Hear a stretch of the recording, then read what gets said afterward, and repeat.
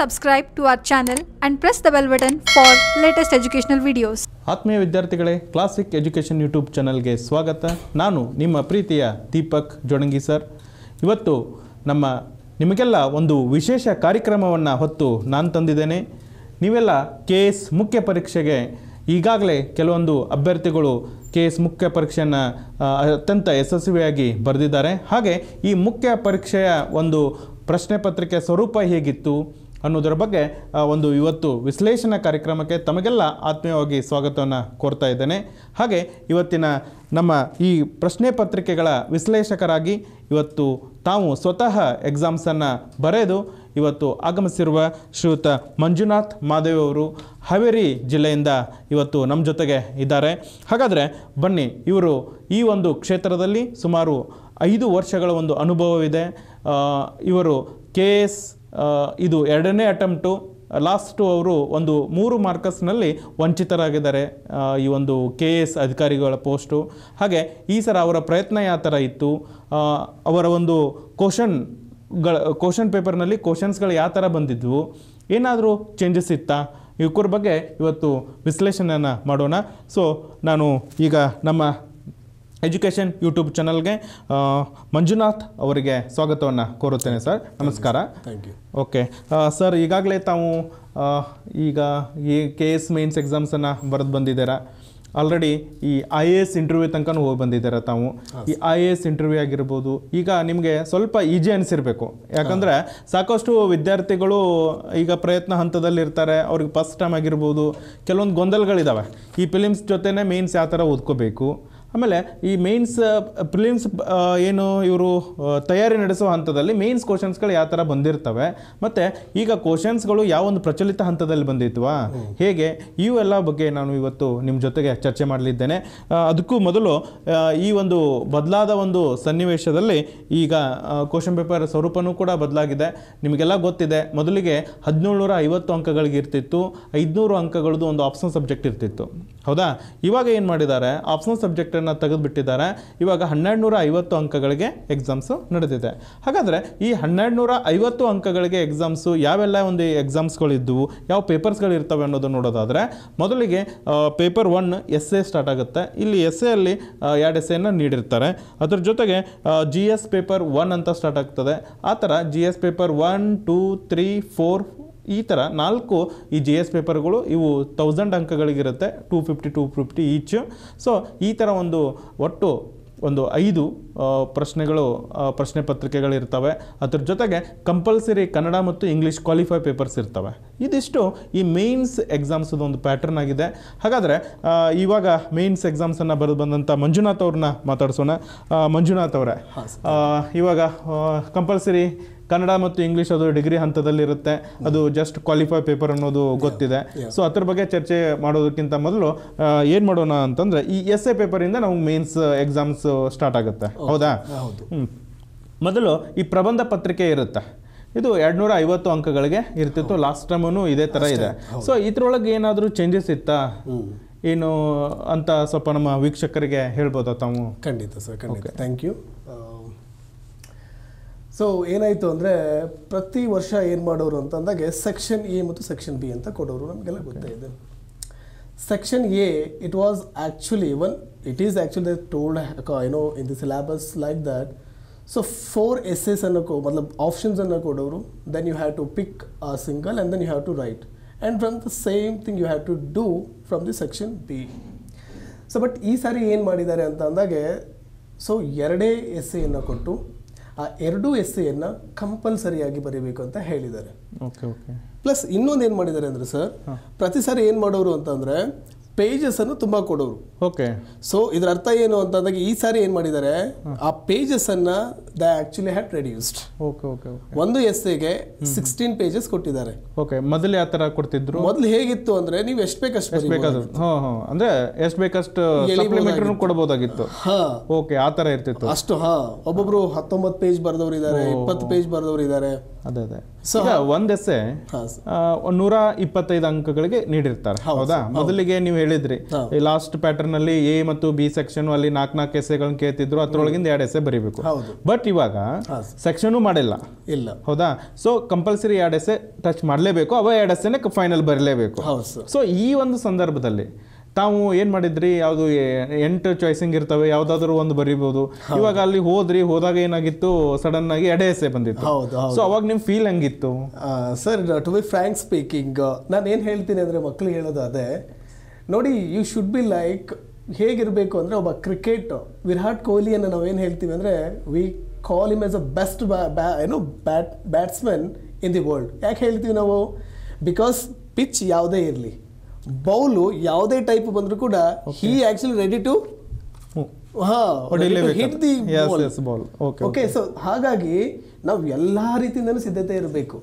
So ನನಗೆ sir ಆಗಿದ್ದು ಆ ಟೈಮಲ್ಲಿ really I felt very happy to be in individually speaking ಯಾಕೆ ಅಂದ್ರೆ ಅಲ್ಲಿ ದೇವರು ಆಕ್ಚುಲಿ ವಾಂಟೆಡ್ ಟು ಅಸೆಸ್ ನಿಮ್ಮ ಎಬಿಲಿಟಿಯನ್ನು ಅವರು ಚೆಕ್ ಮಾಡಕ್ ನೋಡ್ತಾ ಇದ್ದಾರೆ. ನಿಮ್ಮ ಆಪ್ಟಿಟ್ಯೂಡ್ ನಾವೇನ್ ಹೇಳ್ತೀವಿ ಜಿ ಎಸ್ ಫೋರ್ ಅಲ್ಲಿ ಇದೆ ಅಲ್ವಾ?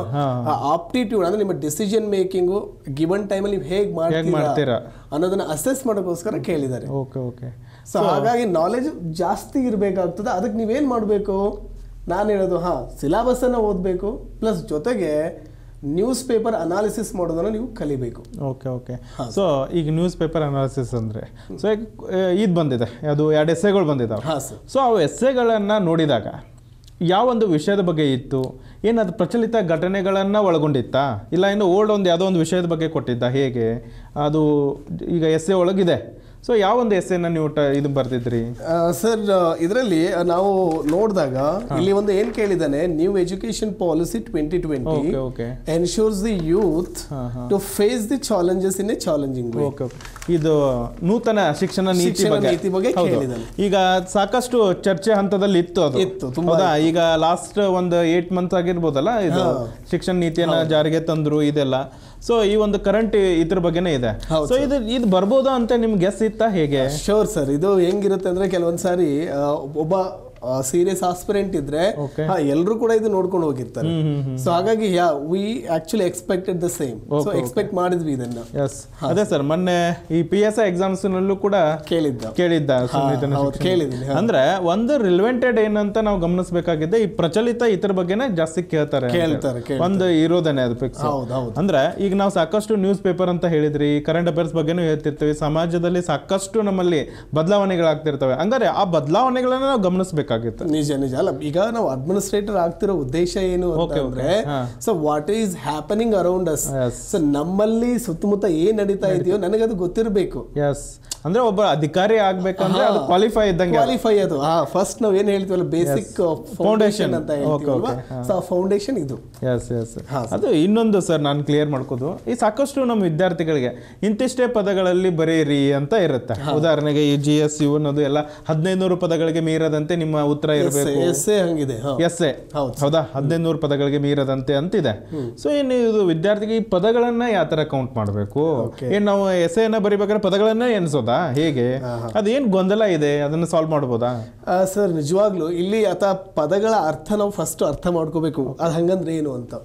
ಇಲ್ಲಿ ಪದ ಅಂತ ಅಂದ್ರೆ ನಾವೇನ್ ಮಾಡ್ಬಿಡ್ತೀವಿ ಅಂದ್ರೆ ಫಾರ್ ಎಕ್ಸಾಂಪಲ್ ನಾನೊಂದು ಹೇಳ್ತೀನಿ. Rajaram Mohan Roy is known has ಅಥವಾ can be called as a father of modern India ಅಂತ ಒಂದು ಸೆಂಟೆನ್ಸ್ ಇದೆ. ಹೌದು. ಸೊ ಇಲ್ಲಿ ಪದಗಳಂದ್ರೆ ಏನು. ರಾಜಾರಾಮ್ ಮೋಹನ್ ರಾಯ್ ಒಂದೇ ಪದ. ಓಹೋ ರಾಜಾರಾಮ್ ಮೋಹನ್ ರಾಯ್. ಹಾ. ಯಾಕಂದ್ರೆ ಈಗ ನಾವು ರಾಜಾರಾಮ್ ಮೋಹನ್ ರಾಯ್ ಇಲ್ಲೊಂದು ಮೂರು ಪದಗಳಂತ ಕನ್ಸಿಡರ್ ಮಾಡಿದ್ರು ಆಮೇಲೆ ಇನ್ನೊಂದು ಈಸ್ ನಾವು ಕನ್ಸಿಡರ್ ಮಾಡಬಾರ್ದು. Okay okay okay. ಅರ್ಥ? ಆಮೇಲೆ ಇನ್ನೊಂದೇನು? ಈ ಆದ್ದರಿಂದ ಮತ್ತು ಹಾಗಾದರೆ ಲಿಂಕಿನ್ ವರ್ಡ್ ಇಲ್ವೇ ಇಲ್ರಿ. ಅದಕ್ಕೆ ಆ್ಯಕ್ಚುಲಿ ಗುಡ್ ಆನ್ಸರ್ ನಾನು ಯಾವ್ದಕ್ಕೆ ಹೇಳ್ತೀನಿ ಅದು ನನ್ನ ಈ ಎಷ್ಟು ಎಕ್ಸ್ಪೀರಿಯನ್ಸ್ ಆಯ್ತು ನನ್ನ ಅದು ಪ್ರೀವಿಯಸ್ ನಾನು ಹೇಳೋದು. ಆದ್ದರಿಂದ ಸೊ ಬಟ್ ಅವುಗಳನ್ನ ನಿಮ್ಮ ಆನ್ಸರ್ಸ್ ಅಲ್ಲಿ ಇರಬಾರ್ದು. ಇರಬಾರ್ದು. ಅಂದ್ರೆ ಪದೇ ಪದೇ ವರ್ಡ್ ರಿಪೀಟ್ ಆಗಬಾರ್ದು. ಅದೇನ್ ತೋರಿಸುತ್ತೆ ಅಂದ್ರೆ ನೀವು you are not with that clarity ಇಲ್ಲ. ಹಾ ಹಾ ಹಾ. ಆ ಥರ. ಹಾ ಬಟ್ ಲಾಸ್ಟ್ ಹಾ ಫೈನಲ್ ಟಚ್ ಕೊಡ್ಬೇಕಾದ್ರೆ ಹಾಗಾಗಿ ಹೀಗಾಗಿದೆ. After analysis as like this ಅಂತ ಒಂದು ಹದಿನೈದು ನೂರು ಪದಗಳಿಗೆ ಅಂತ ಇದೆ. ಸೊ ಒಬ್ಬೊಬ್ರು ವಿದ್ಯಾರ್ಥಿಗಳು ಒಂದೊಂದು ಸ್ಟೈಲ್ ಇರುತ್ತೆ ಬರೋದು ಹೌದಾ?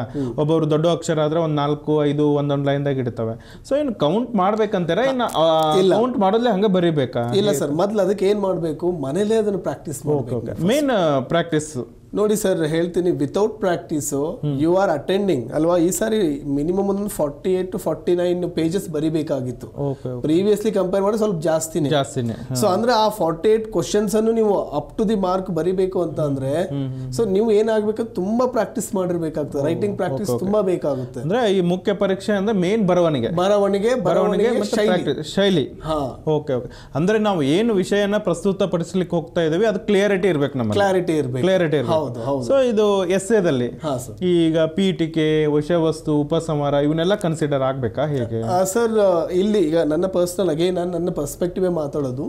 ಸೊ ಇಲ್ಲಿ ಏನಾಗ್ತದೆ ಅಂತ ಅಂದಾಗೆ ಹಾ ಯು ಕ್ಯಾನ್ ಸ್ಟಾರ್ಟ್ ವಿತ್ ನಾನು ಏನು ಮಾಡಿದೆ ಅಂತ ಅಂದಾಗ ಪ್ರತಿಯೊಂದು ಎಸ್ಸೆಯನ್ನು ಡಿಫ್ರೆಂಟ್ ಆ್ಯಂಗಲಲ್ಲಿ ಶುರು ಮಾಡ್ತೀನಿ ನಾನು. ಅಂದರೆ ಎಕ್ಸಾಂಪಲ್ ನ್ಯೂ ಎಜುಕೇಷನ್ ಪಾಲಿಸಿಯನ್ನು ನಾನು ಶುರು ಮಾಡಿದ್ದು ಒಂದು ಕೊಟೇಶನ್ ಒಂದು ಇವೆಂಟು ಅಂದ್ರೆ ಒಂದು ಯಾವುದೋ ಒಂದು ಸಮಥಿಂಗ್ ಎಲ್ಲ ಒಂದು ಪ್ಲೇಸಸ್ ಅಲ್ಲಿ ಒಂದು ಇಬ್ರು ಕನ್ ಕನ್ವರ್ಜೇಷನ್ ಅನ್ನ ಕೊಟ್ಟೆ. ಸೊ ಹಿಂಗಾಗಿತ್ತು.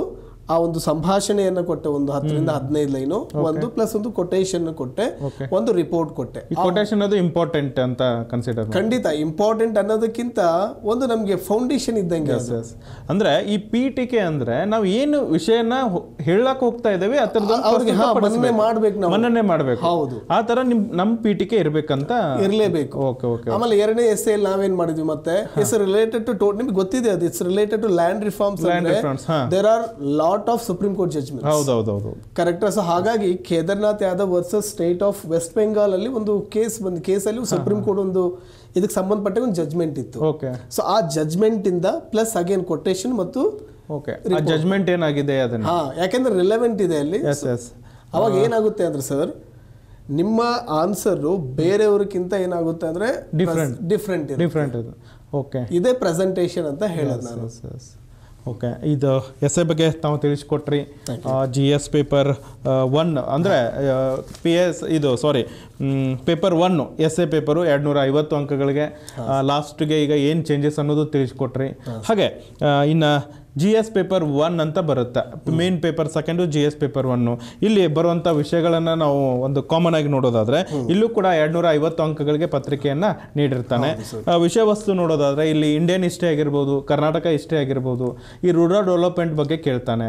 ಹಾಗೆ ಎಕನಾಮಿಕ್ಸ್ ಬಗ್ಗೆನೂ ಕೇಳ್ತಾನೆ. ಅದ್ರ ಜೊತೆಗೆ ಸ್ವಲ್ಪ ಕಲ್ಚರ್ ಕಲ್ಚರ್ ಬಗ್ಗೆನೂ ಸೊ ಬಂದಿದೆ. ಆಮೇಲೆ ಸ್ವಲ್ಪ ಸೋಷಿಯಾಲಜಿ ಸಬ್ಬ ಸಂಬಂಧಪಟ್ಟಂಗೆ ಕ್ವಶನ್ಸ್ ಬಂದಿರ್ತವೆ. ಸೊ ಇವು ಅಷ್ಟು ವಿಷಯಗಳನ್ನು ಇಲ್ಲಿ ಎರಡ್ನೂರ ಐವತ್ತು ಅಂಕಗಳಿಗೆ ಜಿ ಎಸ್ ಫಸ್ಟ್ನಲ್ಲಿ ಕೇಳ್ತಾರೆ. ಹೌದಾ? ಸೊ ಇವು ಅಷ್ಟು ಕೂಡಿ ಇಲ್ಲೂ ಕೂಡ ಏನಾಗಿತ್ತು ಮೊದಲಿಗೆ ಇಪ್ಪತ್ತು ಪ್ರಶ್ನೆಗಳು ಇರ್ತಿದ್ವಿ. ಸೊ ಎರಡು ಹನ್ನೆರಡುವರೆ ಮಾರ್ಕಸಿಗೆ ಒಂದು ಆನ್ಸರನ್ನು ಬರಿಬೇಕಂತ ಇರ್ತಿತ್ತು ಸೊ ಇದೇ ಪ್ಯಾಟರ್ನ್ದಲ್ಲಿ ಇತ್ತ ಈ ಸಲವೂ ಎಕ್ಸಾಮ್ಸ್ ಏನು ಚೇಂಜಸ್ ಆಗಿತ್ತಾ? ಹೇಗೆ?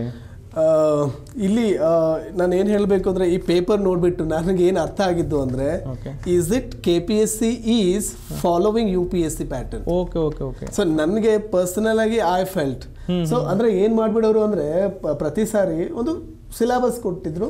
ಆ ಸಿಲೆಬಸ್ಸಿಂದ ಇಂದ ಏನ್ ಮಾಡೋರು ಅಂದ್ರೆ ಸೆಕ್ಷನ್ ಇದೆ. ಸೆಕ್ಷನ್ ಒಂದು ಎರಡು ಮೂರು ಅಂತ ಏಳು ಒಟ್ಟಿನಲ್ಲಿ ಮೂರು ಸೆಕ್ಷನ್ ಮಾಡಿದ್ರು. ಆ ಮೂರು ಸೆಕ್ಷನ್ ಇಂದ ಏನ್ ಮಾಡೋರು ಪ್ರತಿ ಒಂದು ಸೆಕ್ಷನ್ ಇಂದ ಏಳು ಏಳು ಕ್ವಶನ್ಸ್ ಅನ್ನ ಪಿಕ್ ಮಾಡೋರು. ಅಂದ್ರೆ ಟ್ವೆಂಟಿ ಒನ್ ಕ್ವಶನ್ಸ್ ಆಯ್ತು.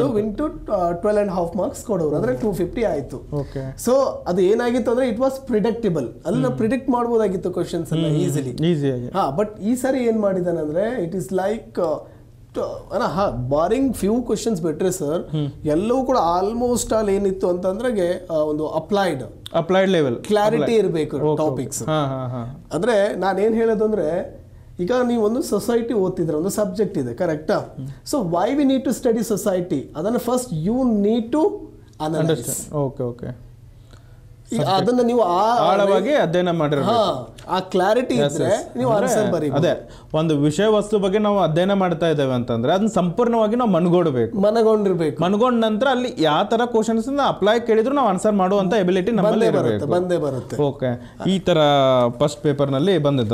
ಸೊ ಇಲ್ಲಿ ಹಿಸ್ಟ್ರಿಯಲ್ಲಿ ಯಾವ್ದಾದ್ರು ಒಂದು ಕ್ವಶನ್ಸ್ ಯಾವ ತರ ಬಂದಿತ್ತು? ತಾವು ಯಾವ ತರ ಆನ್ಸರ್ ಮಾಡಿದ್ರಿ ಅನ್ನೋದನ್ನ ಹೇಳ್ಬೋದಾ ಹೇಗೆ? ಖಂಡಿತ ಸರ್ ಹೇಳ್ಬೋದು. ಇಲ್ಲಿ ಫಾರ್ ಎಕ್ಸಾಂಪಲ್ ಏನು ಕೊಟ್ಟಿದೆ ಅಂದ್ರೆ discuss about the British land revenue system in Bengal ಅಂದ್ರೆ ಬೆಂಗಾಲದಲ್ಲಿ ಭೂ ಕಂದಾಯ ಪದ್ಧತಿ ಬಗ್ಗೆ ಡಿಸ್ಕಸ್ ಮಾಡಿ ಅಂತ ಕೇಳಿದ್ದಾರೆ. ಈ ಚರ್ಚೆ ವಿಮರ್ಶಿಸಿ ನಿಮ್ಮದೇ ಆದ ಒಂದು ವಿಮರ್ಶೆಯೊಂದಿಗೆ ವಿಶ್ಲೇಷಿಸಿ ಈ ತರ ಏನಂತಂದ್ರೆ ಈ ಪ್ಯಾಟರ್ನ್ ಕೊಡ್ತಿರ್ತಾನೆ. ಸೊ ಇಂತಾಗಿದ್ದಾಗ ಯಾವ ತರ ನಾವು ಆನ್ಸರನ್ನು ಕ್ರೆಡಿಟ್ ಮಾಡ್ಕೋಬೇಕು? ಯಾವ ತರ ಇದು ವಿಮರ್ಶೆ ಅಂತಂತ ಬರಿಬೇಕು? ನಿಮ್ಮದೇ ಆದ ವಿಮರ್ಶೆ ಅಂತಾನೆ ನೀವು ಹೌದೌದು. ನಿಮ್ಮ ಪರ್ಸ್ಪೆಕ್ಟಿವ್ ಅದು ಎಸ್ ಅವಾಗ ಯಾವ ಥರ ಆನ್ಸರ್ ಮಾಡಬೇಕು ಹುಡುಗರು ಆ ಥರ ಫಾರ್ ಎಕ್ಸಾಂಪಲ್ ಸರ್ ಈಗ ಇದು ಡಿಸ್ಕಸ್ ಅಂತ ಕೊಟ್ಟಿದ್ದಾನೆ. ಓಕೆ ಸೊ ಡಿಸ್ಕಸ್ ಅಂತ ಅಂದಾಗೆ ನಾವು ಏನು ಮಾಡಬೇಕು ಅಂತ ಅಂದಾಗ for example land revenue system ಅಲ್ಲಿ ಏನಾಗಿತ್ತು. ಸೊ ಅದರ ಒಂದು ಪಾಸಿಟಿವ್ ಅನ್ನ ಬರೆಯೋಣ ಒಂದು ನೆಗೆಟಿವ್ ಅನ್ನ ಬರೆಯೋಣ. ಪ್ಲಸ್ ಬೇಸಿಕ್ಸ್ ಫಾರ್ ಎಕ್ಸಾಂಪಲ್ ಬೆಂಗಾಲದಲ್ಲಿ ಯಾವ್ಯಾವ ಇದ್ವಪ್ಪ? ಒಂದು ಇಜರ್ದಾರಿ ಸಿಸ್ಟಮ್ ಇತ್ತು ಅಥವಾ ಒಂದು ಫಾರ್ಮಿಂಗ್ ಸಿಸ್ಟಮ್ ಅಂತ ಇತ್ತು ಒಂದು. ಎರಡನೇದು ಯಾವುದಿತ್ತು?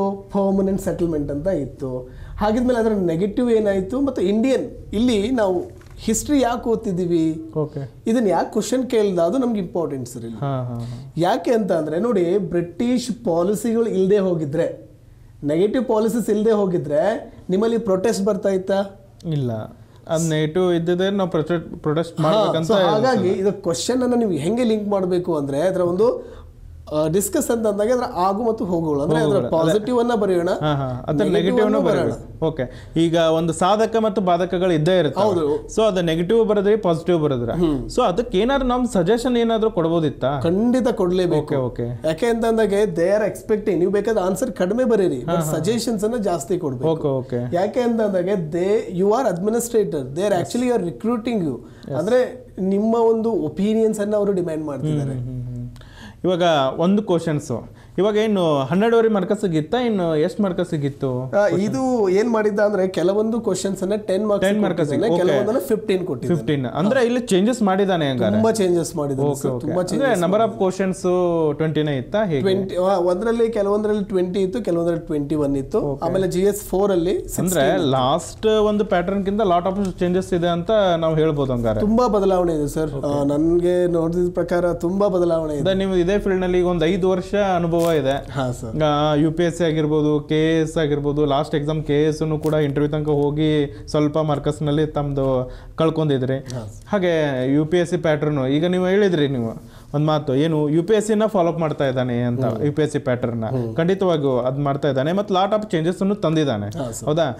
ಸೊ ಈಗ ಈ ರೂರಲ್ ಡೆವಲಪ್ಮೆಂಟ್ ಅಂದ್ರೆ ಈಗ ಎಕನಾಮಿ ರಿಲೇಟೆಡ್ ಇವ್ರ ಬೆಲೆ ಯಾವ್ದಾದ್ರು ಕ್ವಶನ್ ಯೋಜನೆಗಳ ಬಗ್ಗೆ ಏನಾದ್ರು ಕ್ವಶನ್ಸ್ ಬಂದಿತ್ತ ಹೇಗೆ? ಹಾ ಬಂದಿತ್ತು ಸರ್ ತುಂಬಾ ಕ್ವಶನ್ಸ್ ಬಂದಿತ್ತು.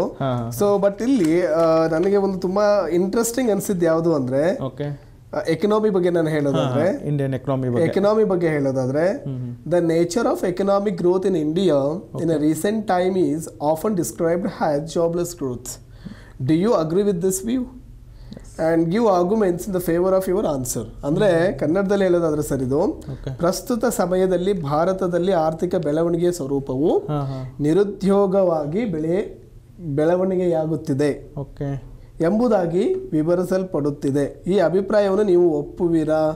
ನಿಮ್ಮ ಉತ್ತರವನ್ನ ಎಸ್ ಪ್ರಸ್ತುತ ಭಾರತದ ಒಂದು ಸ್ಥಿತಿಗದ್ದೆ ಬಗ್ಗೆ ಎಕನಾಮಿ ಬಗ್ಗೆ ಏನನ್ನೋದು ನಿರುದ್ಯೋಗ. ಹಾ ಸೊ ಇದು ಬರ್ಲಿಕ್ಕೆ ಕಾರಣ ಅನ್ನೋದು ಈಗ ಚರ್ಚೆ ಮಾಡೋ ವಿಷಯ ಅಂದ್ರೆ ಗೊತ್ತಿದೆ ನಿಮಗೆ. ಯಾಕಂದ್ರೆ ಆಫ್ಟರ್ ಕರೋನಾ ಬಂತು ಸಾಕಷ್ಟು ಉದ್ಯೋಗಗಳ ಹಾನಿ ಆದ್ವಿ ಸೊ ಈ ಒಂದು ರಿಲೇಟೆಡ್ ಇಟ್ಕೊಂಡು ಆ ಒಂದು ಪ್ರಸ್ತುತ ಸನ್ನಿವೇಶ ತಂದಿದ್ದಾನೆ.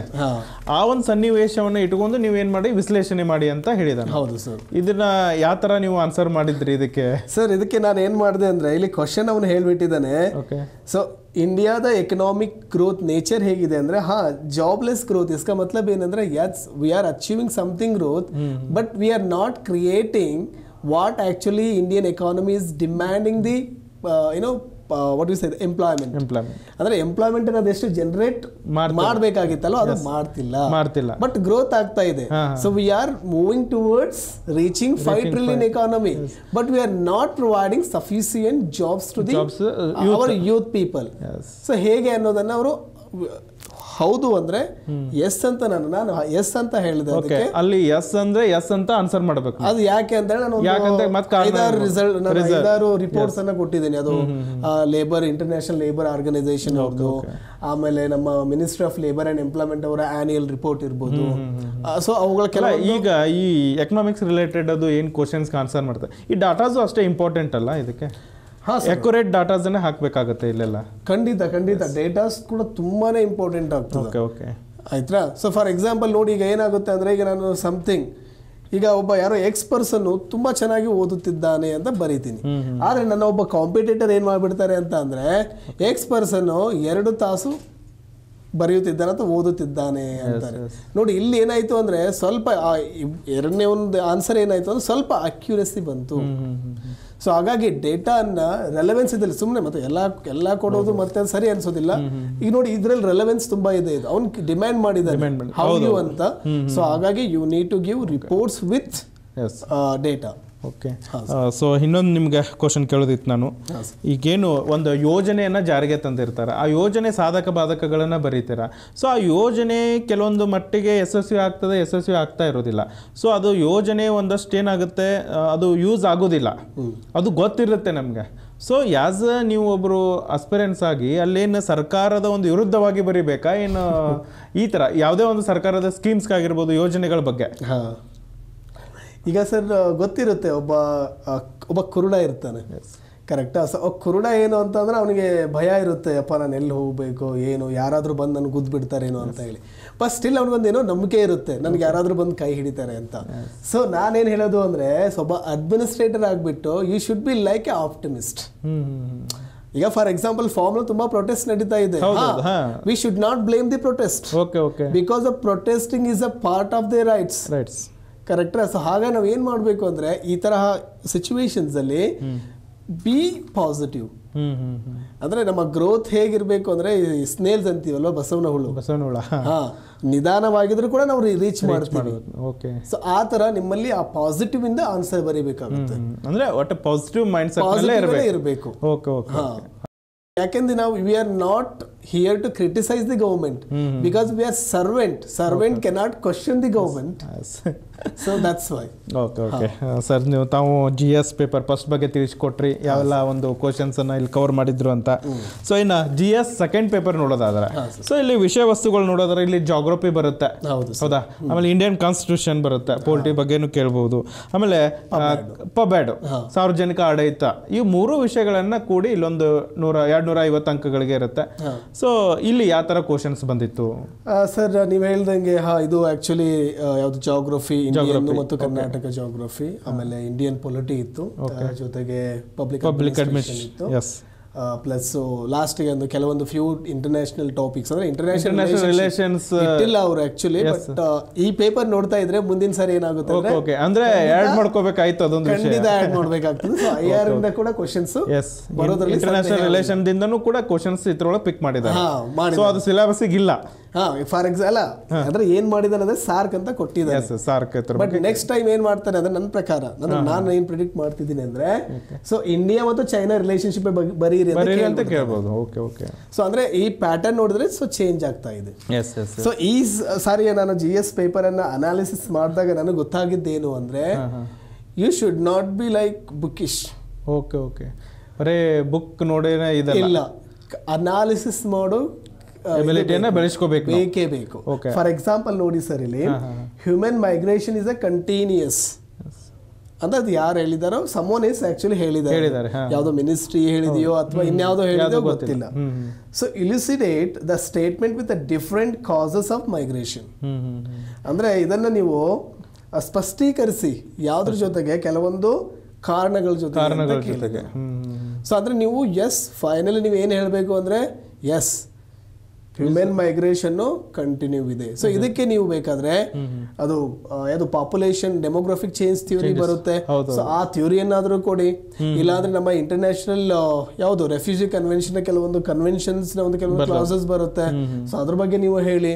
ಅಥವಾ ಮೋಸ್ಟ್ ರೀಸೆಂಟ್ ಆಗಿ ಮೊನ್ನೆ ಟಾರ್ಗೆಟ್ ಟೂ ಬಿಲಿಯನ್ ಅಂತ ಒಂದು ಪ್ರೋಗ್ರಾಮ್ ಪ್ರೋಗ್ರಾಮ್ ಮಾಡಿದ್ರಲ್ಲ. ಹಾ ಸೊ ಅದ್ರ ಬಗ್ಗೆ ಆದ್ರೂ ನೀವು ಹೇಳ್ಬೋದು. ಒಟ್ನಲ್ಲಿ ಏನು ಅಂದ್ರೆ ಹೌದು ಅಂತ ಹೇಳಿ. ಹೌದು ಅಂತ ಹೇಳಿ ಅದಕ್ಕೊಂದು ಸ್ಪಷ್ಟೀಕರಣ ನೀಡಬೇಕು ನೀಡಲೇಬೇಕು. ಅದು ಎಷ್ಟಕ್ಕೆ ಅಂದ್ರೆ ಒನ್ ಫಿಫ್ಟಿ ವರ್ಡ್ಸ್ ಅಂದ್ರೆ ಟೂ ಪೇಜಸ್ ಈಗ ಒನ್ ಫಿಫ್ಟಿ ವರ್ಡ್ ಅಂತ ಇಟ್ಟಿದ್ದಾನೆ ಟೂ ಪೇಜ್ ಈ ಟೂ ಪೇಜ್ ಅಂದ್ರೆ ಫ್ರಂಟ್ ಟು ಬ್ಯಾಕ್ ಏನ್ ಫ್ರಂಟ್ ಟು ಬ್ಯಾಕ್ ಅಂತ ಟೂ ಪೇಜ್ ಅಂದ್ರೆ ಫೋರ್ ಪೇಜ್ ಆಗುತ್ತೆ ಇಲ್ಲ ಇಲ್ಲ? ಇಲ್ಲ ಒಂದು ಫಾರ್ ಎಕ್ಸಾಂಪಲ್ ಇದು ಅಂದ್ರೆ. ಈ ಕಡೆ ಈ ಕಡೆ ಫ್ರಂಟ್ ಮತ್ತು ಫ್ರಂಟ್ ಟು ಬ್ಯಾಕ್ ಇನಫ್ ಆಗುತ್ತಾ? ಸಾಕಾಗುತ್ತಾ? ಆಕ್ಚುಲಿ ನನಗೆ ಸಾಕಾಗ್ಲಿಲ್ಲ ನಾನೆಲ್ಲ ಇಲ್ಲೆಲ್ಲ ಬರ್ದ್ಬಿಟ್ಟೆ. ಇಲ್ಲೆಲ್ಲ. ಒಂದು ಕ್ಲಿಯರ್ಫೈ ಮಾಡೋದಂದ್ರೆ ಈ ಕ್ವಾಂಟಿಟಿಗಿಂತ ಕ್ವಾಲಿಟಿ ಇಂಪಾರ್ಟೆಂಟ್ ಅಲ್ಲ?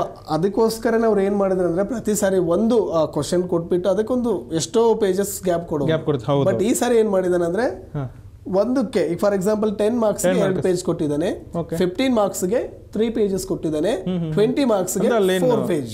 ಅಂದ್ರೆ ಪೇಜ್ಗೆ ಒಂದು ಮಾರ್ಕ್ಸ್ ಕ್ವಶನ್ಸ್ ಅಲ್ಲೇ ಕ್ವಶನ್ ಇರುತ್ತೆ ಆಮೇಲೆ ಈಗ ಈಗ ಕ್ವಶನ್ ಕ್ವಶನ್ ಇದೆ ಆಯ್ತಾ? ಈಗ ಒಂದು ಕ್ವಶನ್ ಇದೆ. ಅದ್ರ ಕೆಳಗಡೆ ಪ್ಲೇ ಸ್ಪೇಸ್ ಕೊಟ್ಟಿದ್ದಾನೆ. ಸ್ಪೇಸ್ ಕೊಟ್ಟಿದ್ದಾನೆ. ಇದೊಂದು ಕಡೆ ಆ ಕಡೆ ಒಂದು ಎರಡು ಪೇಜ್ ಓಕೆ ನೆಕ್ಸ್ಟ್ ಇದಕ್ಕೆ ಕ್ವಶನ್ ಪ್ರಿಂಟ್ ಆಗಿರುತ್ತೆ ಹೇಗೆ ಅಲ್ಲಿ? ಇಲ್ಲ ಕರೆಕ್ಟ್ ಆಗೇ ಇರುತ್ತೆ. ಈಗ ಫಾರ್ ಎಕ್ಸಾಂಪಲ್ ಇದು ಒಂದು ಕ್ವಶನ್ ಇಲ್ಲಿ ಕೊಟ್ಟಿದ್ದಾರೆ ರೈಟ್ ಬಿಟ್ಬಿಟ್ಟು- ಮತ್ತೆ ಇಲ್ಲಿ ಒಂದು ಕ್ವಶನ್ ಇರುತ್ತೆ. ಓಕೆ ಓಕೆ ಅಲ್ಲಿ ಪ್ರಿಂಟ್ ಕೊಟ್ಟಿರ್ತಾನೆ ಆನ್ಸರ್ ಬುಕ್ಲೆಟ್ನಲ್ಲಿ ಓಕೆ ಓಕೆ ನೋಡಿ ಸ್ನೇಹಿತರೆ ಈ ಆನ್ಸರ್ ಬುಕ್ಲೆಟ್ನಲ್ಲೂ ಕೂಡ ಈ ಕ್ವಶನ್ಸ್ಗೆ ಎಷ್ಟು ಆನ್ಸರ್ ಬರಬೇಕು ಅಂತ ಕೊಟ್ಬಿಟ್ಟಿದ್ದಾನೆ.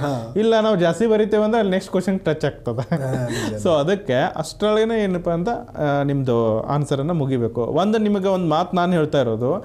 ಇಲ್ಲಿ ಕ್ವಾಂಟಿಟಿಗಿಂತ ಕ್ವಾಲಿಟಿ ಇಂಪಾರ್ಟೆಂಟ್ ನಿಜ ನಿಜ ಕ್ವಾಂಟಿಟಿ ಅಂತ ಹಾಗೆ ಜಾಸ್ತಿ ಹಾಕೊಂತ ಹೋಗೋದಲ್ಲ ನೀವು ಎಷ್ಟು ಪೇಜ್ನಲ್ಲಿ ಬರೀತೀರ ಅಷ್ಟು ಕ್ವಾಲಿಟಿ ಇರಬೇಕು. ನಿಜ ನಿಜ. ಹೌದಾ? ಸೊ ಈ ಥರ ಕ್ವಶನ್ಸ್ಗೆ ಆನ್ಸರ್ ಆಗಿರ್ಬೋದು. ಈ ಪೋಲ್ಟ್ರಿಗೆ ಸಂಬಂಧಪಟ್ಟಂಗೆ ಹಾ ಸರ್ ಇಂಡಿಯನ್ ಕಾನ್ಸ್ಟಿಟ್ಯೂಷನ್ಗೆ ಸಂಬಂಧಪಟ್ಟಂಗೆ ಯಾವ್ದಾದ್ರು ಕ್ವಶನ್ಸ್ಗೆ ಬಂದಿತ್ತಾ ಹೇಗೆ? ಖುಷಿ ಅನ್ಸಿದ್ದು ಯಾವುದು ಅಂದ್ರೆ ಓಕೆ ಈತ ಏನು ಮಾಡ್ದ ಅಂದ್ರೆ ಇಲ್ಲಿ explain the concept of right to privacy as a fundamental right in the light of judgment of supreme court in S Puttaswamy versus union of India case actually it was to twenty seventeen ಅಲ್ಲಿ ಇತ್ತು. But ಯಾಕೆ ಇವಾಗ ಕೇಳ್ತಿದ್ದಾನೆ ಅಂತ ಅಂದ್ರೆ because of ಈಗ ಏನಾಗ್ತಾ ಇದೆ ಅಂದ್ರೆ ನಮ್ದು ಒಂದು data protection bill twenty nineteen pending ಇದೆ. ಸೊ ವೈ ಅಂತ ಅಂದಾಗೆ ಫಾರ್ ಎಕ್ಸಾಂಪಲ್ ಅದರ ಒಂದು ಕ್ಲಾಸಸ್ ಇದೆ. ಕೆಲವೊಂದು ಕೆಲವೊಂದು ಅದು ನಾವು ಡೇಟಾಗೆ ಸಂಬಂಧಪಟ್ಟಂಗೆ ಪ್ರೈವಸಿ ಸೊ ಹಾಗಾಗಿ ಆ ಜಜ್ಮೆಂಟ್ ಅನ್ನ ಇಟ್ಕೊಂಡು ಇವಾಗ ಮತ್ತೆ ಅದನ್ನ ಅಂದ್ರೆ ಇದೇನು ಅಂದ್ರೆ ಈಗ ನೆಕ್ಸ್ಟ್ ನಮ್ಮ Indian economy five trillion economy ಆಗ್ತಾ ಇದೆ ಅಂದ್ರೆ ಡೇಟಾ ಅನ್ನೋದು important more than that as gold ಕಿಂತ ನನ್ನ ಪ್ರಕಾರ ಏನಂದ್ರೆ ಡೈಮಂಡ್. ಮಾಹಿತಿ. ಮಾಹಿತಿ. ಒಂದು ಡೈಮಂಡ್ ಇದ್ದಂಗೆ ಅದು. ಅದು ಆಯ್ತು. ಇವಾಗ ಈ ಫೇಸ್ಬುಕ್ನಲ್ಲಿ ಮಾಹಿತಿಯನ್ನು ಹಂಚಿಕೆ ಆಗಿತ್ತು ವಾಟ್ಸ್ಆಪ್ ಮಾಹಿತಿಗೆ ಹಂಚಿಕೆಯನ್ನು ಬಿಕಾಸ್ ನೋಡಿ ಈಗ ಅದೆಲ್ಲ ಒಂದು ಚರ್ಚೆ ನಡೀತಾ ಇದೆ. ಸೊ ಆ ಒಂದು ಚರ್ಚೆಯಲ್ಲಿ ನಡೀತಾ ಇರುವಂತ ಕ್ವಶನ್ಸ್ನ ಈ ತರ ಒಂದು ವರದಿಯನ್ನ ಇಟ್ಕೊಂಡ್ಬಿಟ್ಟು ಈ ತರ ಕ್ವಶನ್ಸ್ ಅನ್ನ ಒಂದು ಅರೇಂಜ್ ಮಾಡಿದ್ದಾರೆ. ಮಾಡಿದ್ದಾರೆ. ಬಟ್ ಸೊ ಅದಕ್ಕೆ ರಿಲೇಟೆಡ್ ಅಂದ್ರೆ ಅಂದ್ರೆ ನೀವು ಹೇಳಿದಾಗ ನಮ್ಮ ಸುತ್ತಮುತ್ತ ಏನ್ ನಡೀತಾ ಇದೆ ಅಂತ ಗಮನಿಸಲೇಬೇಕು. ಗೊತ್ತಿರಲೇಬೇಕು. ಅಂದ್ರೆ ನಾವೇನ್ ತಿಳ್ಕೊತೀವಿ ಅದ್ರ ಮಾಹಿತಿಯನ್ನ ಈಗ ಸೋರಿಕೆ ಮಾಡ್ತಾ ಇದ್ದಾರೆ ಅದೆಲ್ಲ ಮಾಹಿತಿ ಕೇಳ್ತಾ ಇದ್ದೀವಿ. ಸೊ ಅದ್ರ ಮ್ಯಾಗ ಕ್ವಶನ್ಸ್ ಬರ್ತಾವ ಅಂತ ನಾವು ಅಂದ್ಕೊಂಡಿರ್ತೇವೆ. ಸೊ ಅದ್ರ ರಿಲೇಟೆಡ್ ಹಿಂದಿನ ಒಂದು ವರದಿಯ ಪ್ರಕಾರನೂ ಕ್ವಶನ್ಸ್ ಕೇಳ್ತಾನೆ. ಇದು ಇಂಪಾರ್ಟೆಂಟ್ ನಿಜವಾಗ್ಲು. ಒಂದ್ ವೇಳೆ ನೀವು ಅದು ಕೇಳಿಲ್ಲ ಅಂದ್ರೂ ಕೂಡ ಇನ್ನೊಂದು ನಾನು ಹೇಳೋದು ಕಿವಿ ಮಾತು ಒಂದ್ ವೇಳೆ ಪೊಲಿಟಿವ್ ಓದ್ತಿದ್ದೀರಾ ಅಂದ್ರೆ ನಿಮಗೆ ಸುಪ್ರೀಂ ಕೋರ್ಟ್ ಜಜ್ಮೆಂಟ್ಸ್ಗಳ ಅವಶ್ಯಕತೆ ತುಂಬಾ ಇದೆ. Okay so without understanding the wordings of the supreme court ನಿಮ್ಮ answer is like fish without water ಅದೇ ಈಗ ಸುಪ್ರೀಂ ಕೋರ್ಟ್ ಜಜ್ಮೆಂಟ್ ಅದು ಎಲ್ಲ ಏನು ಬುಕ್ನಾಗ ಇರ್ತಾವ ಅಂತ ಹೇಳಕ್ ಬರೋದಿಲ್ಲ. ಇರೋದಿಲ್ಲ ಅದು ಅದೇ ಅದೇ ಒಂದು ಒಂದು ಒಂದೇನೋ ಒಂದು ಮಾಹಿತಿ ಇರ್ತದೆ. ಒಂದು ಸುಪ್ರೀಂ ಕೋರ್ಟ್ ಒಂದು ವಿಷಯದ ಬಗ್ಗೆ ಜಜ್ಮೆಂಟ್ ಆಗಿರ್ತದೆ. ಅದ್ರ ಬಗ್ಗೆ ಲೇಖನಗಳು ಇರ್ತವೆ. ಸೊ ಇವನ್ನೆಲ್ಲ ನಾವು ನ್ಯೂಸ್ ಪೇಪರ್ ಇದ್ರೊಳಗನೆ ಕಲೆಕ್ಟ್ ಕೊಟ್ಟಿರ್ತಾರೆ. ಅದನ್ನ ನೀವೇನಿಲ್ಲ ಜಾಸ್ತಿ ತಿಳ್ಕೊಳ್ಳೋ ಅವಶ್ಯಕತೆ ಇಲ್ಲ. ಎಷ್ಟು ಬೇಕು? ಫಾರ್ ಎಕ್ಸಾಂಪಲ್ ಇದು ರೈಟು ಬೇಕಾದ್ರೆ ಹಾ ಜಜ್ಮೆಂಟ್ ಬಗ್ಗೆ ಏನ್ ಹೇಳಿದ್ದಾರೆ? ಮೇನ್ ತಿರುವು ಏನಿದೆ. ರೈಟ್ ಟು ಪ್ರೈವಸಿ ಎಸ್ ಇದಕ್ಕೋಸ್ಕರ ಇದು ತುಂಬಾ ಇಂಪಾರ್ಟೆಂಟ್ ಅಂತ ಜಜ್ಮೆಂಟ್ ಅಲ್ಲಿ ಹೇಳಿರ್ತಾರೆ ಆ ಕೀ ಪಾಯಿಂಟ್ಸ್ ಅನ್ನ ಒಂದು ಎರಡರಿಂದ ಮೂರು ಲೈನ್ ಆಗಷ್ಟು. ನಿಮ್ಗೆ ಗೊತ್ತಿದ್ರೆ ಎನಫ್ ಎಫ್ ಓಕೆ ತಾವು ಸೆಕೆಂಡ್ ಪೇಪರ್ ಬಗ್ಗೆನೂ ಕೂಡ ತಿಳಿಸ್ಕೊಟ್ಟಿದ್ದೀರಾ. ಈಗ third paper G S third ಅಂತ. ಇಲ್ಲಿ ಇಂಪಾರ್ಟೆಂಟ್ ಅಂದ್ರೆ ಈ ಸೈನ್ಸ್ ಅಂಡ್ ಟೆಕ್ನಾಲಜಿ ಬಗ್ಗೆ ಕೇಳ್ತಾನೆ.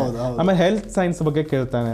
ಆಮೇಲೆ ಎನ್ವೈರ್ಮೆಂಟ್ ಸೊ ಈಗ ಸಾಕಷ್ಟು ಜಾಗತಿಕ ಬದಲಾವಣೆಗಳಾಗ್ತಾ ಇದಾವೆ ಎನ್ವೈರ್ಮೆಂಟ್ ಚೇಂಜ್ ಆಗ್ತಾ ಇದೆ. ಈ ಸೈನ್ಸ್ ಅಂಡ್ ಟೆಕ್ನಾಲಜಿ ಒಳಗೂ ಒಂದು ರಾಷ್ಟ್ರಕ್ಕಿಂತ ಒಂದು ರಾಷ್ಟ್ರ ಮುಂದೆ ಹೋಗ್ತಾ ಇದೆ. ಸೊ ಈ ಒಂದೆಲ್ಲ ನಿಟ್ಟಿನಲ್ಲಿ ಗಮನಿಸಿಕೊಂಡು ನಿಮ್ಗೇನು ಸಿಲೆಬಸ್ ಕೊಟ್ಟಿದ್ರು? ಅದ್ರೊಳಗೆ ಯಾವ ಥರ ಕ್ವಶನ್ಸ್ ಬಂದಿತ್ತು ಈ ಸೈನ್ಸ್ ಅಂಡ್ ಟೆಕ್ನಾಲಜಿ ಬಗ್ಗೆ ಆಗಿರ್ಬೋದು ಎನ್ವೈರ್ಮೆಂಟ್ ಬಗ್ಗೆ ಆಗಿರ್ಬೋದು? ಈ ಒಂದು ಓಲ ಒಂದು ಜಿ ಎಸ್ನಲ್ಲಿ ಬಂದಂಥ ಕ್ವಶನ್ಸ್ಗಳು ಯಾವ ಥರ ಇದ್ವು? ಅವು ಏನು ಪ್ರಚಲಿತ ಇದಕ್ಕೂ ರಿಲೇಟೆಡ್ ಇದ್ವಾ? ಏನು ಓಡ್ ಓಡ್ ಕೇಳಿದ್ದ? ಹೇಗೆ? ಸರ್ ಆ್ಯಕ್ಚುಲಿ ಏನಾಯ್ತು ಅಂದ್ರೆ ಈ ಸಾರಿ ಸ್ವಲ್ಪ ಸೈನ್ಸ್ ಅಂಡ್ ಟೆಕ್ನಾಲಜಿ ಇಂದ ಕ್ವಶನ್ಸ್ ಸ್ವಲ್ಪ ತುಂಬಾ ಡೈನಮಿಕ್ ಆಗಿದೆ. ಸೊ ಹೋ. ಸಾರಿನೂ ಹೋಸಾರಿನೂ ಕೂಡ ಅವ್ರು ಏನು ಮಾಡಿದ್ರು ಅಂದರೆ ಕೆ ಪಿ ಎಸ್ ಸಿಲಿ ತುಂಬ ಖುಷಿ ಆಗಿತ್ತು. ಯಾಕಂದ್ರೆ ಇದು ಸ್ವಲ್ಪ ಕ್ವಶನ್ ಇದು ಪೇಪರ್ ಒಂದು ಮತ್ತು ಎರಡು ಸ್ವಲ್ಪ ಒಂಥರ ಟ್ರೆಡಿಷನಲ್ ಇತ್ತು. But paper three was dynamic but ಅದೇ ತರ ಇವಾಗಲೂ ಕೂಡ ಟ್ರೆಂಡ್ ಕಂಟಿನ್ಯೂ ಆಗಿದೆ ಇಲ್ಲಿ. ಇವನ್ ಏನು ಮಾಡಿದಾನೆ ಅಂತ ಅಂದಾಗೆ totally from the current affair ಕೆಲವೊಂದು ಬಿಟ್ಟು ಅಗೇನ್ ಕೆಲವೊಂದು ಬಿಟ್ಟು ನೋಡಿ ಬಿಗ್ ಡೇಟಾ ಅಂತ ಕೇಳಿದಾನೆ. ಬಿಗ್ ಡೇಟಾ ಎಂತ ಸೂಪರ್ ಅದು ಸೂಪರ್ ಕಾನ್ಸೆಪ್ಟ್ ನೋಡಿ ನಾನು ಹೇಳಿದೆ Indian economy five trillion economy ಆಗ್ತಾ ಇದೆ. ಅಥವಾ so trillion dollar.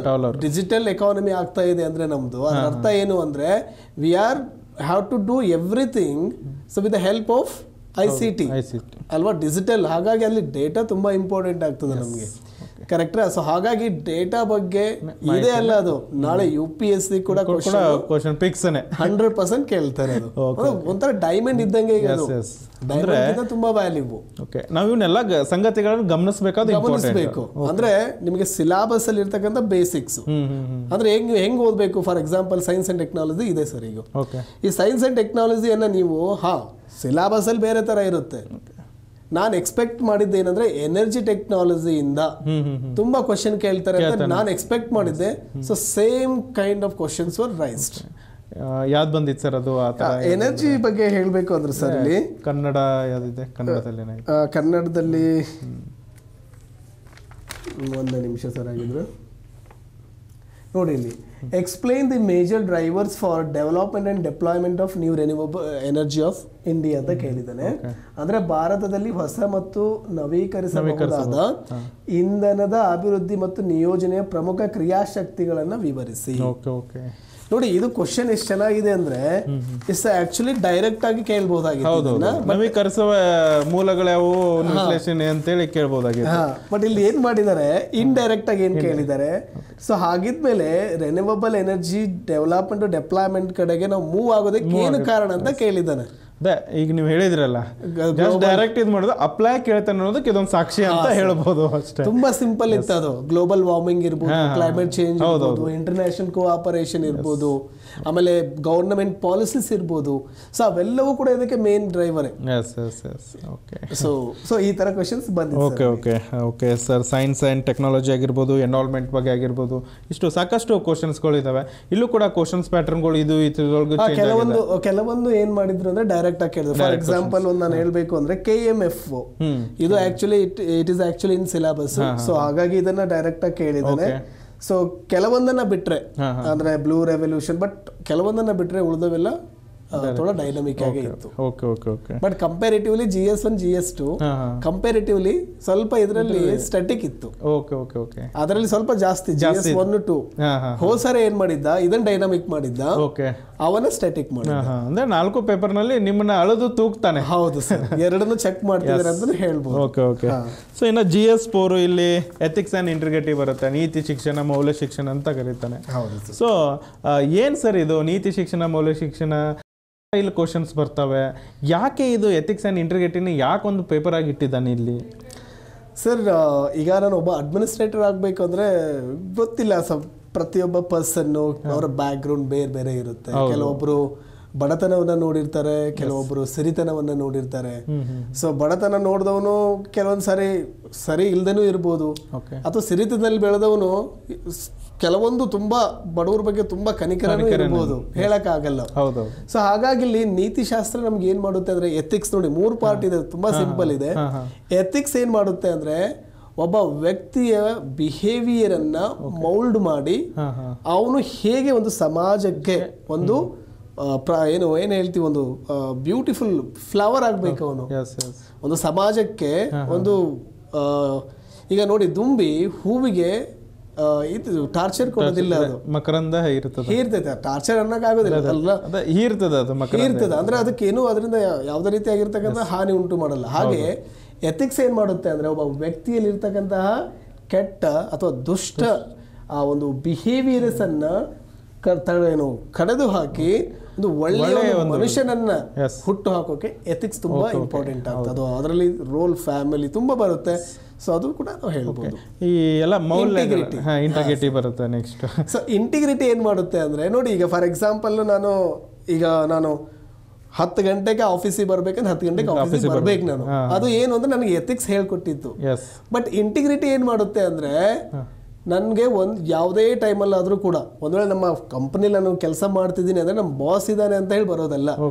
ಒಂದು ವೇಳೆ ನಮ್ಮ ಬಾಸ್ ಇಲ್ದಿದ್ರು ಕೂಡ ನಾನು ಆ ಟೈಮಿಗೆ ಬರೋದಲ್ವಾ? ಅಂದ್ರೆ ಎಥಿಕ್ಸ್ ಅನ್ನ ಇಂಪ್ರೂವ್ ಮಾಡೋಕೆ ಎಥಿಕ್ಸ್ ಅನ್ನ ಲಾಂಗ್ ಅಂದ್ರೆ ಅದರ ಒಂದು ಕ್ಯಾರೆಕ್ಟರ್ ಅನ್ನ ಜಾಸ್ತಿ ಮಾಡೋದಕ್ಕೆ ನಮಗೆ ಇಂಟಿಗ್ರಿಟಿ ತುಂಬಾ ಅವಶ್ಯಕ ತುಂಬಾ ಬ್ಯೂಟಿಫುಲ್ ವ್ಯಾಲ್ಯೂ ಇದು.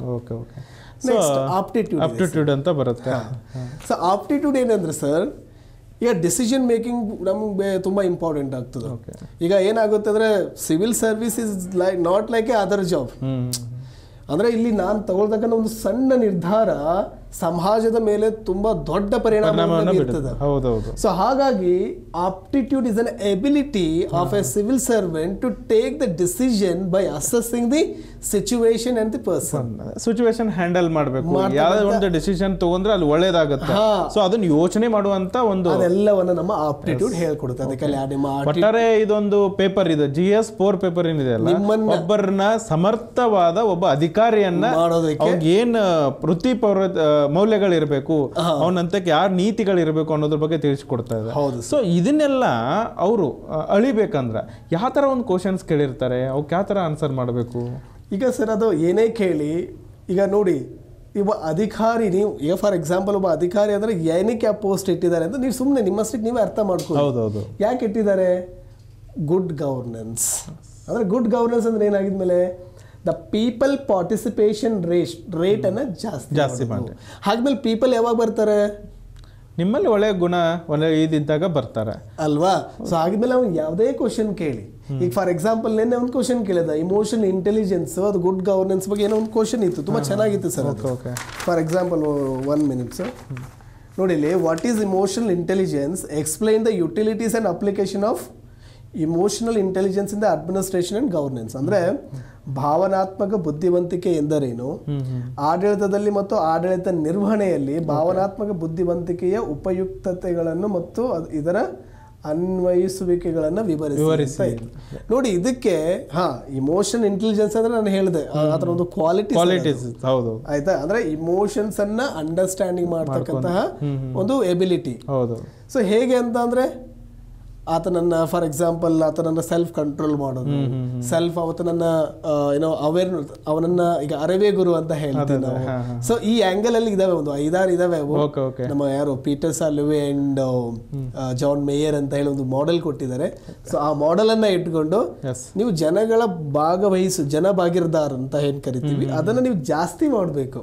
ಸೊ ಅದರ ಉದ್ದೇಶನೇ ಈ ಕ್ವಶನ್ ಹೇಗ್ ಮಾಡ್ತೀರಾ? ಅಥವಾ ಹೇಗದು ಅದು ಎಮೋಷನಲ್ ಇಂಟೆಲಿಜೆನ್ಸ್ ಅದನ್ನು ಹೇಗೆ ಮಾಡೋಕ್ಕೆ ಸಪೋರ್ಟ್ ಮಾಡುತ್ತೆ ಅಂತ. Okay so G S four ಬಗ್ಗೆನೂ ತಿಳಿಸ್ಕೊಟ್ರಿ. ಸೊ ಒಟ್ಟಾರೆ ಈ ಒಂದು ಸಿಲೆಬಸ್ಸನ್ನೆಲ್ಲ ನೋಡ್ಕೊಂಡ್ರೆ ನೀವು ನಾಳೆ ಒಬ್ಬರು ಡಿವೈಸ್ ಬಿ ಆಗ್ಬೋದು ಎ ಸಿ ಆಗ್ಬೋದು ಎ ಸಿ ಆಗಿರ್ಬೋದು ಒಂದು ಸಮರ್ಥವಾದ ಒಂದು ಅಧಿಕಾರಿ ಪೋಸ್ಟ್ಗಳನ್ನು ಕ್ರಿಯೇಟ್ ಮಾಡಲಿಕ್ಕೆ ಹೋಗ್ತಾ ಇದ್ದಾರೆ. ಅಲ್ಲಿ ಒಬ್ಬ ಸಮರ್ಥ ಆಡಳಿತವನ್ನು ನಿವಾರಣೆ ಮಾ ನಿಭಾಯಿಸಲಿಕ್ಕೆ ಸಮರ್ಥವಾದ ವ್ಯಕ್ತಿಯನ್ನು ಇಟ್ಕೊಂಡ್ಬಿಟ್ಟು ಇದೊಂದು ಸಿಲೆಬಸ್ ಮಾಡಿದ್ದಾರೆ ಅಂತ ಹೇಳಕ್ಕೆ ತಪ್ಪಾಗಕ್ಕಾಗಲ್ಲ ಖಂಡಿತ. ಸೊ ಸಾಕಷ್ಟು ಚರ್ಚೆಯನ್ನು ಮಾಡಿದ್ವಿ ಈ ಒಂದು ಮೀನ್ಸ್ ಬಗ್ಗೆ. ಲಾಸ್ಟು ಒಂದು ಎಕ್ಸಾಮ್ಸ್ಗಿಂತ ಈಗ ಸಾಕಷ್ಟು ಬದಲಾವಣೆಗಳಾಗಿದ್ದಾವೆ ವಿದ್ಯಾರ್ಥಿಗಳೇ. ತಾವೆಲ್ಲ ಈಗ ನಮ್ಮ ಮಂಜುನಾಥ್ ಮಹಾದೇವ್ ಸರ್ ಅವರು ಒಂದು ಮಾರ್ಗದರ್ಶನವನ್ನು ನೋಡಿದ್ರಿ. ಸೊ ಅವ್ರ ಜೊತೆ ವಿಶ್ಲೇಷಣೆ ಮಾಡಬೇಕಾದ್ರೆ ಸಾಕಷ್ಟು ವಿಷಯಗಳನ್ನು ನೀವೀಗ ತಿಳ್ಕೊಂಡಿದ್ದೀರಾ. ಸೊ ಮತ್ತು ಈ ಕೆ ಎಸ್ ಮೇನ್ಸ್ ಎಕ್ಸಾಮ್ಸ್ ಬಗ್ಗೆ ಸಂಪೂರ್ಣವಾದ ಒಂದು ಮಾಹಿತಿ ನಾವು ಇಲ್ಲಿ ನೀಡಿದ್ದೇವೆ ಅಂತ ಹೇಳ್ಬೋದು ವಿಶ್ಲೇಷಣೆ ಒಂದಿಗೆ. ಆ, ತಾವು ಕೂಡ ಮುಂದೆ ಅಣಿಯಾಗ್ತಾ ಇದ್ದಾರೆ. ನಮ್ಮ ವೀಕ್ಷಕರಿಗೆ ಅಂದರೆ ಈ ವಿದ್ಯಾರ್ಥಿಗಳಿಗೆ ಏನು ಕೆ ಎಸ್ ಅಧಿಕಾರಿ ಆಗಬೇಕೆಂಬ ಬಯಸಿದಂಥ ವಿದ್ಯಾರ್ಥಿಗಳಿಗೆ ಈಗ ಸಾಕಷ್ಟು ಜನ ಈಗ ಮುಂದೆ ಕಾಲ್ ಫಾರ್ಮ್ ಯಾವಾಗಿದೆ ಅಂತ ಕೇಳ್ತಾ ಇದ್ದಾರೆ. ಸೊ ಆ ಒಂದು ನಿಟ್ಟಿನಲ್ಲಿ ಸಾಕಷ್ಟು ತಯಾರಿಯನ್ನು ನಡೆಸ್ತಾ ಇದ್ದಾರೆ. ಈ ಫಿಲಿಮ್ಸ್ ಹಂತದಲ್ಲಿ ಈಗ ಓದ್ತಾ ಇದ್ದಾರೆ. ಫಿಲಿಮ್ಸ್ ಜೊತೆ ಜೊತೆಗೆ ಮೇನ್ಸನ್ನು ಯಾವ ಥರ ಓದ್ಕೋಬೇಕು ಏನು ಲಿಂಕಿಂಗ್ ಮಾಡಬೇಕು ಅನ್ನೋದ್ರ ಬಗ್ಗೆ ಸ್ವಲ್ಪ ತಿಳಿಸ್ಕೊಡ್ಬೋದಾ ಹೇಗೆ? ಓಕೆ ಖಂಡಿತ ಸರ್ ನೋಡಿ ಈಗ ಫಾರ್ ಎಕ್ಸಾಂಪಲ್ಲು ಈಗ ನಮ್ಮದು ಹಾವೇರಿ. ನಾನು ಹಾವೇರಿ ಹೋಗಬೇಕು ಅಂದರೆ ಲಾಟ್ ಆಫ್ ವೇಸ್ ತುಂಬ ದಾರಿಗಳಿದೆ ಸರ್ ಈಗ ನಾನು ಹೇಗಾದರೂ ಹೋಗ್ಬೋದು ತಡಸೋದು ಹೇಗಾದರೂ ಹೋಗ್ಬೋದು. ಆದರೆ ನಾನು ಹೈವೇ ಇಟ್ಕೊಂಡು ಹೋದರೆ ಬೇಗ ಹೋಗ್ತೀನಿ. ನಾನು ಏನು ಹೇಳಕ್ಕೆ ಬಂದೆ ಅಂದರೆ ಎಕ್ಸಾಮಿಗೆ ನಾನು ಒಬ್ಬ ಅಧಿಕಾರಿ ಆಗಬೇಕು ಅನ್ನೋ ಆಸೆ ಎಷ್ಟು ನಿಮ್ಮಲ್ಲಿ ಇದು ಇದೆಯಲ್ವಾ? ಅದೇ ಥರ ಒಬ್ಬ ರೈಟ್ ಗುರು ಮತ್ತು ಒಂದು right direction plus right materials ನಿಮಗೆ ತುಂಬ ಅವಶ್ಯವಾಗಿದೆ. ಸೊ ಹಾಗಾಗಿ ಆ ರೈಟ್ ಡೈರೆಕ್ಷನ್ ನಮ್ಮ ಈ ಕ್ಲಾಸಿಕ್ ಕೊಡ್ತಾ ಇದೆ ಕೊಟ್ಟಿದೆ ಇನ್ನು ಮುಂದೆ ಕೊಡುತ್ತೆ ಅನ್ನೋ ನಂಬಿಕೆ ನನಗೆ ತುಂಬ ಇದೆ. ಆಯಿತಾ? ಸೊ ನಾವು ಏನು ಮಾಡಬೇಕು ಅಂತ ಅಂದರೆ ನೋಡಿ ಸಬ್ಜೆಕ್ಟ್ಸು ನೀವು ಅಂದ್ಕೊಂಡಂಗೆ ಟಫ್ ಇಲ್ವೇ ಇಲ್ಲ. ಒಂದಕ್ಕೊಂದು ರಿಲೇಟ್ ಇದೆ. ಓಕೆ ಆ ರಿಲೇಶನ್ಶಿಪ್ ಅನ್ನ ಅರ್ಥ ಮಾಡ್ಕೊಳ್ಳಿ. ಫಾರ್ ಎಕ್ಸಾಂಪಲ್ ಏನು ನಾನು ಒಂದೇ ಒಂದು ನಿಮ್ಗೆ ಹಂಗೆ ಹೇಳ್ತೀನಿ. ನೀವು ಅಧಿಕಾರಿ ಏನಕ್ಕೆ ಆಗ್ತಾ ಇದ್ದೀರಪ್ಪ good governance so good governance ಯಾವಾಗ ಪಾಸಿಬಲ್ ಇದೆ? ಗುಡ್ ಅಡ್ಮಿನಿಸ್ಟ್ರೇಷನ್ ಕೊಟ್ಟಾಗ ಸೊ ಹಾಗಾದ್ಮೇಲೆ ಪಬ್ಲಿಕ್ ಅಡ್ಮಿನಿಸ್ಟ್ರೇಷನ್ ಬಂತ ಹಾಗಾದ್ಮೇಲೆ ಗುಡ್ ಅಡ್ಮಿನಿಸ್ಟ್ರೇಷನ್ ಆಗೋದಕ್ಕೆ ನಿಮ್ಗೆ ಏನೇನು ಕ್ವಾಲಿಟೀಸ್ ಬೇಕು ಲೀಡರ್ಶಿಪ್ ಇದೆ ಕಮ್ಯುನಿಕೇಶನ್ ತುಂಬಾ ಹೇಳ್ಬೋದು. ಅಷ್ಟಿದ್ರೆ ಸಾಕಾ? ಪೊಲಿಟಿಕಲ್ ಸಿಸ್ಟಮ್ ಬೇಕಾ? ಹೌದು. ಅಲ್ಲಿ ಇಂಡಿಯನ್ ಪೊಲಿಟಿ ಬಂದ್ಬಿಡ್ತಾ ಅಲ್ಲಿ ಓದ್ರಿ ಕೋಆಪರೇಟಿವ್ ಫೆಡರಲಿಸಮ್ ಡೆಮೊಕ್ರೆಟಿಕ್ ಇನ್ಸ್ಟಿಟ್ಯೂಷನ್ಸ್ ಮತ್ತು ಜುಡಿಷಿಯರಿ ಓದಿ. ಕರೆಕ್ಟಾ ಆಮೇಲೆ ಕಾನ್ಸ್ಟಿಟ್ಯೂಷನ್ ಓದಿ ಅಲ್ಲಿ. ಇವಿದ್ರೆ ಎಷ್ಟೇ ಸಾಕಾ? ಇಂಟರ್ನಲ್ ಸೆಕ್ಯೂರಿಟಿ ಸ್ಟ್ರಾಂಗ್ ಬೇಕಲ್ಲ. ಸೊ ಅದು ಅಲ್ಲಿ ಸಬ್ಜೆಕ್ಟ್ ಬಂತು. ಆಮೇಲೆ ಅದಿದ್ರೆ ಸಾಲದ? ಇಂಡಿಯನ್ ಸೊಸೈಟಿ ಸೊಸೈಟಿ ಅದೇ. ಹೀಗೆ ಒಂದಕ್ಕೊಂದು ಸಬ್ಜೆಕ್ಟ್ಸ್ ರಿಲೇಟೆಡ್. ಕನೆಕ್ಟ್ ಇದೆ. ಓಕೆ ಆ ಕನೆಕ್ಷನ್ ಅನ್ನ ಅಂಡರ್ಸ್ಟ್ಯಾಂಡ್ ಮಾಡ್ಕೊಳ್ಳಿ. ಬಟ್ ಎಂಜಾಯ್ ಮಾಡಿ ಸಬ್ಜೆಕ್ಟ್ಸ್ ಅನ್ನ. ಸೊ ಎಂಜಾಯ್ ಮಾಡಿದ್ರೆ ಖಂಡಿತ ನಿಮ್ಗೆ ಬುಕ್ ಮುಗಿಸ್ಲಿಕ್ಕೆ ಬುಕ್ ಮುಗಿಸ್ಲಿಕ್ಕೆ ಓದ್ಕೋಕ್ಕಿಂತ ಸಬ್ಜೆಕ್ಟ್ನ ಎಂಜಾಯ್ ಮಾಡ್ಕೊಂತ ಓದ್ಬೇಕು. ನಿಜವಾಗ್ಲು.